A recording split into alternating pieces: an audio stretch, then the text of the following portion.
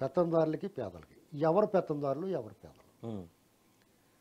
నాకేమీ లేదు నేను ఒంటరివాడిని నా వెనకాల ఎవరు లేరు అంటాడు ఆయన ఒంటరివాడని ఆయన చెప్పుకుంటే సరిపోద్దా. ఆయన వెనకాల మోడీ ఉన్నాడు. ఆయన వెనకాల కేసీఆర్ ఉన్నాడు.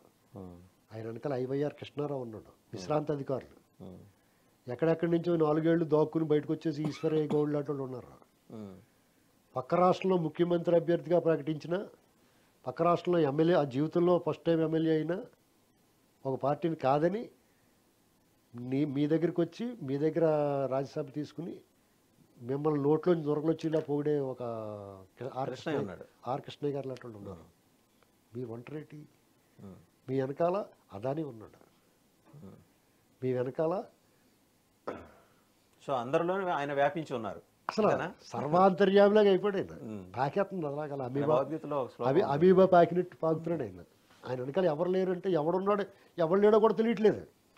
జనాలు పెద్ద కన్ఫ్యూజన్ ఓయ్ బాబోయ్ అత్యున్నత దాంట్లో ఒక ఆయన పదవిలోకి వచ్చేసాడు. ఈయన ఏదో పై- ఈయన పని పెట్టేస్తాడు అనుకుంటే ఆయన ఓం శ్రీరామ జై రామ అనుకుంటా కూర్చున్నాడు.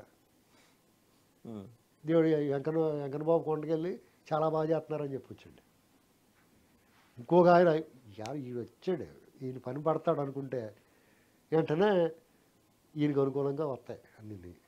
కాబట్టి మీరు ఎక్కడ లేరు? మీ వెనకాల ఎవరు లేరు. కాబట్టి అది తప్పు. అంటే మీరు మా మాట్లాడింది అబద్ధం. రెండు పేదలు పెత్తందారులు. నగరానికి ఒక భవంతి. రాజప్రాసాదాలు ఉన్నవాడు పేదవాడా.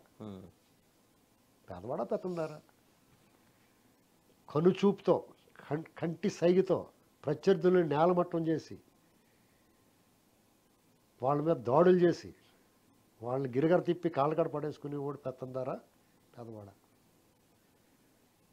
ఎవరేమనుకున్నా కోర్టు ఆదేశాలు ధిక్కరించి రాజ్యాంగ చట్ట ఉల్లంఘన చేయగలిగిన వాడు పేదవాడా పెత్తందారా.